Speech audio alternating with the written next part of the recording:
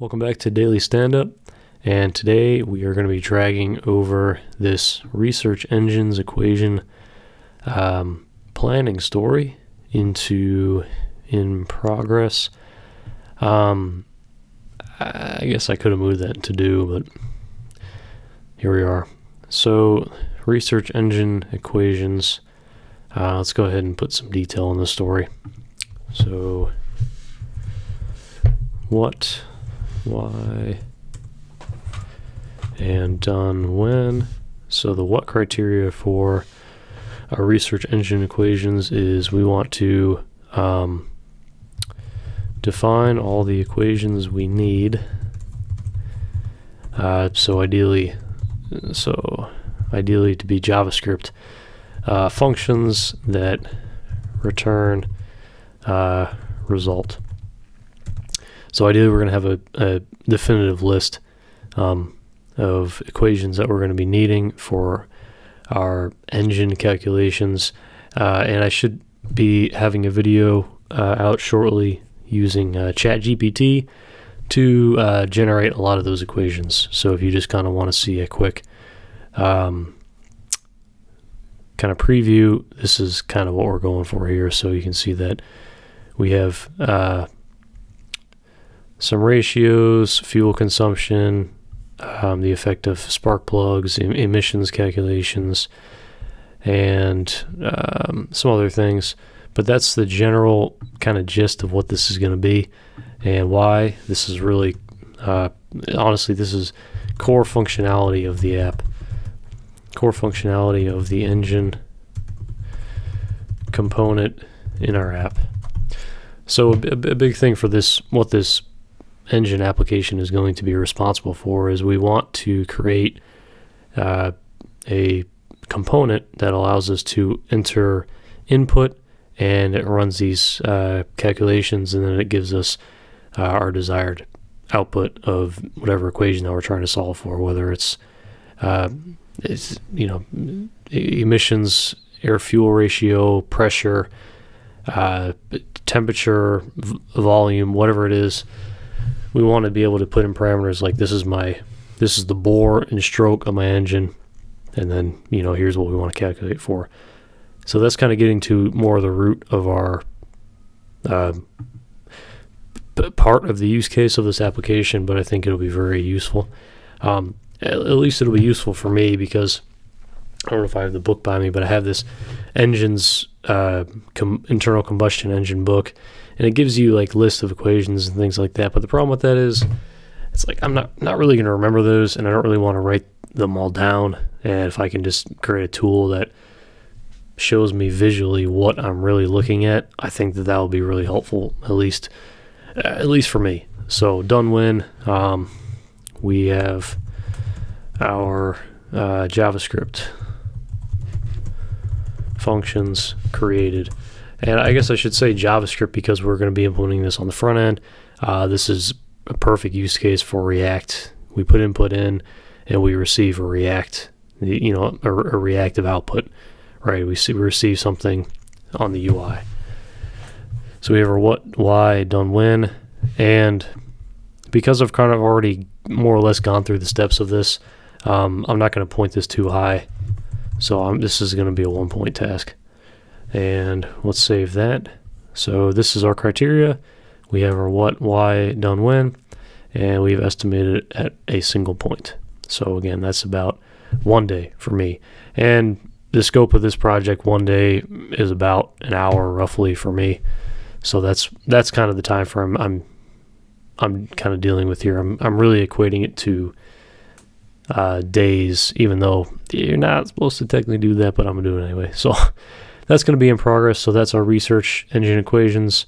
Um, we have the last one we we done the first round of project planning again, and we marked these three in the to do column: back end, back end, and front end. So we need to finish the home controller, uh, implement engine API, and then create API functions. I'm pretty sure I said that I was going to do the back end finish home controller first, but I, I was kind of just in a better spot to do um, the research for the uh, engine equations. So that's kind of where we're at. And the next one, um, we probably should put some detail on now that we're thinking about it. Um, so this is research database providers, and let's go ahead and just kind of chart this out here. And done when. So what for this is going to be, we have to find out, find out which database we want to use. And I'm going to list certain um, uh, qualifications we're looking for. Uh, I like it to be cloud-based, ideally. Um, I like it to have like a some sort of some sort of UI to interact with and build and build tables. Um, and I, I, think I just want it to be relational. Uh, I don't think I want to go the the NoSQL uh, database for, for right now. Uh, it, it, might make sense to do a NoSQL database if I'm planning to have a lot more like subscription events in terms of if somebody adds a, an, a new engine to the feed, do I want people's feed to update in real time?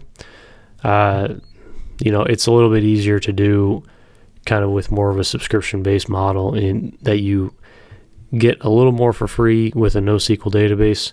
Um, like I know Firebase kind of has through their uh, SDK, they kind of have like uh, subscriptions that you can you can subscribe to. Let's say you know record added, and then it would when that when that when an event is received from that uh, subscription, then it, you can program. I guess passing like a callback. I guess is what you could look at it as, or how you could look at it as.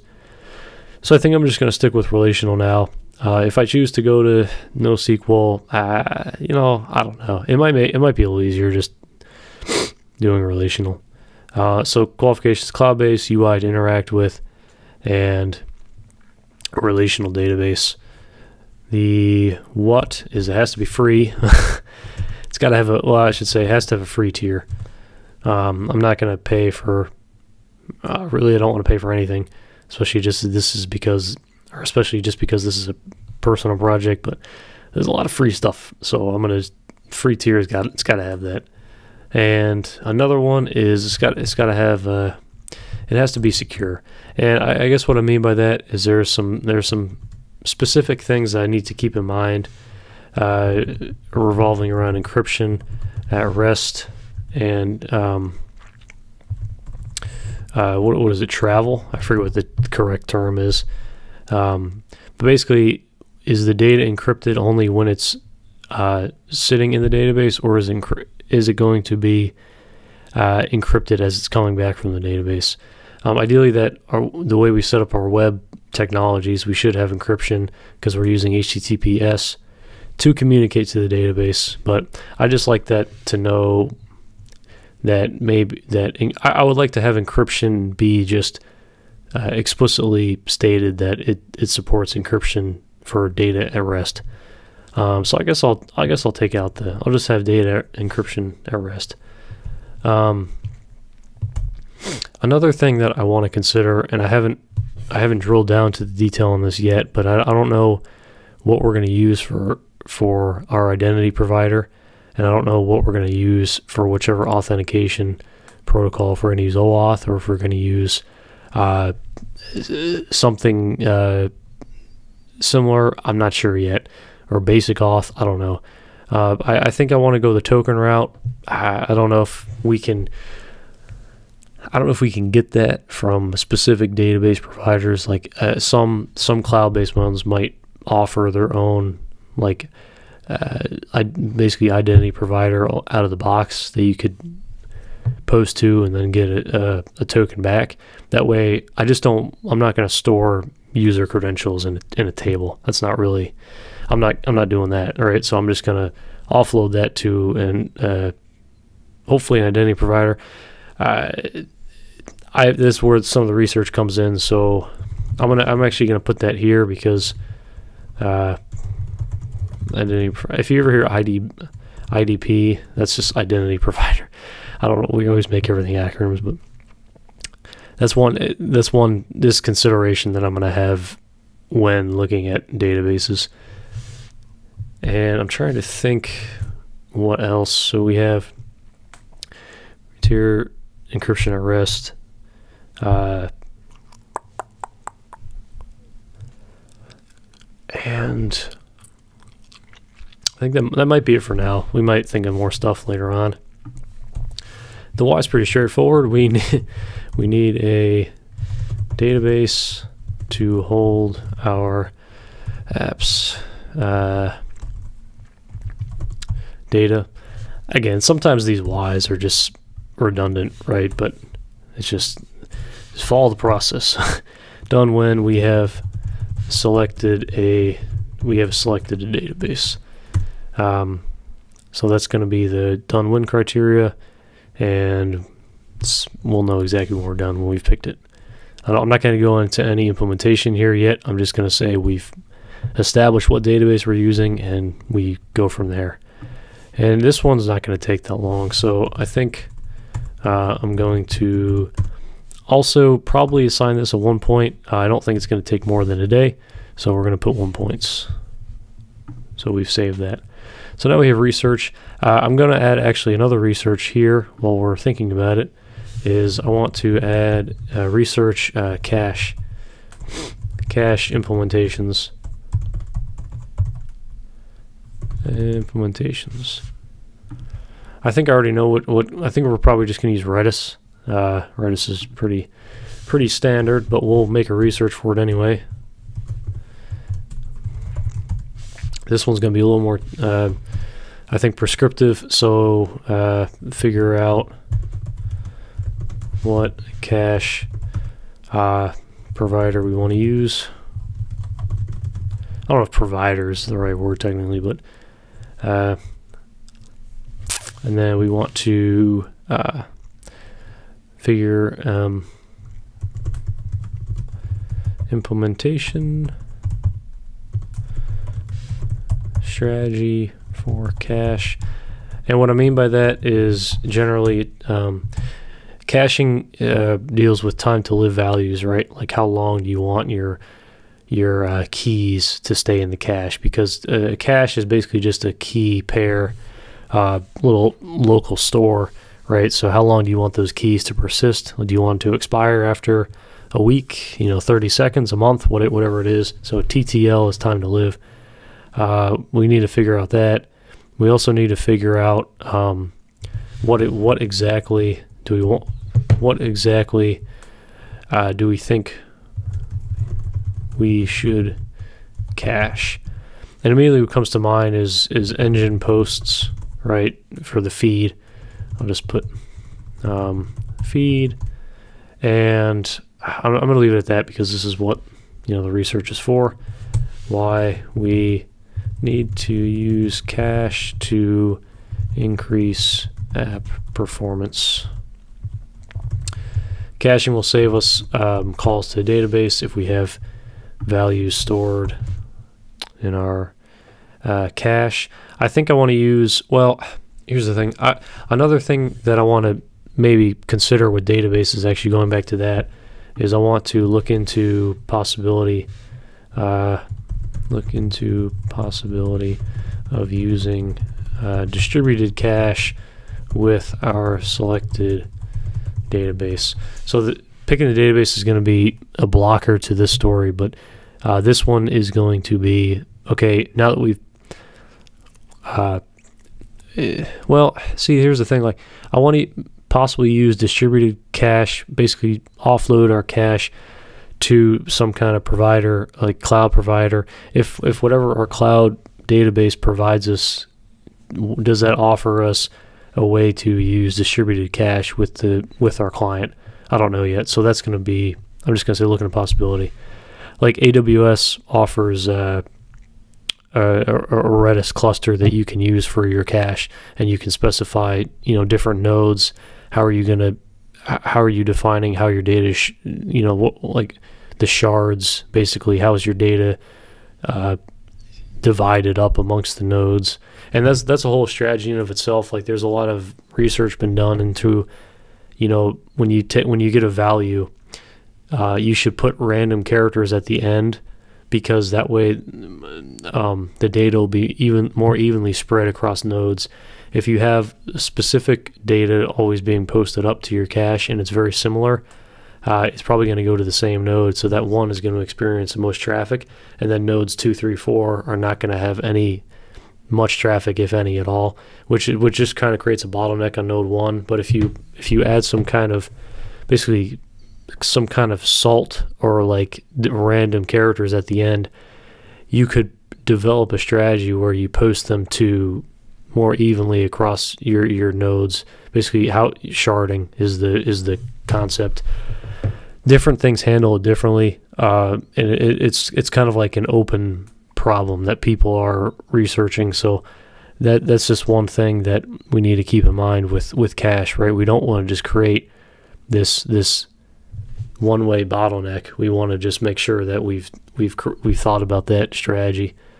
Um, so uh, nodes, uh, data sh shards, everything like that.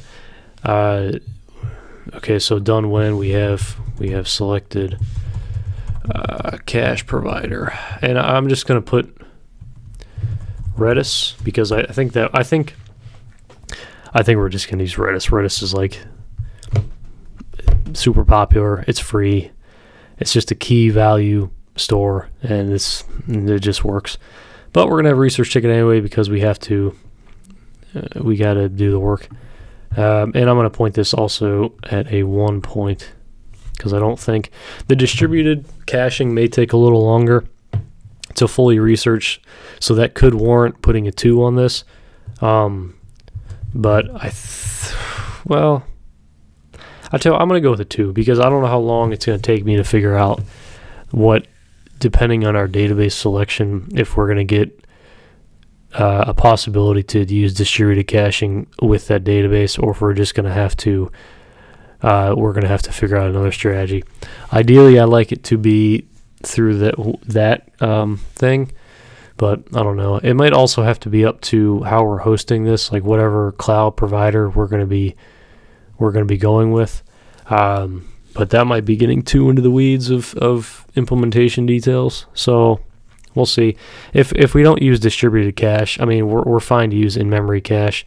In memory cache, basically, just you, you're saying that you know the, the, the, the total memory you have for your application, you're just going to use that to store temporary data. The only thing with that is you probably should kick down your time to live value, probably for you know to clear it after you know your end we're, we're in .NET so after you end a session so if you tie the your cache to your session um, duration that that's a really simple strategy. So uh, let's actually put that um, uh, pos in memory look into in memory uh, cache with uh, and then I'll just say tie use uh, we want to use our .NET uh, session. So we're gonna have to set up session actually in, in our .NET, but that's really easy to do. And a session is just uh, assigns for when a user comes to your site. They're gonna um, when when ideally after they've been authenticated, we're gonna give we're gonna give them a session ID and all, and it's gonna house uh, you can put data in the session, but it's just basically a way for like state management in an authenticated fashion tied to that specific user. So that's kind of all it is. Um, so those are research tickets. I think we're good here. So I think I'm going to call it on this stand up. Uh, and I will see you on the next one.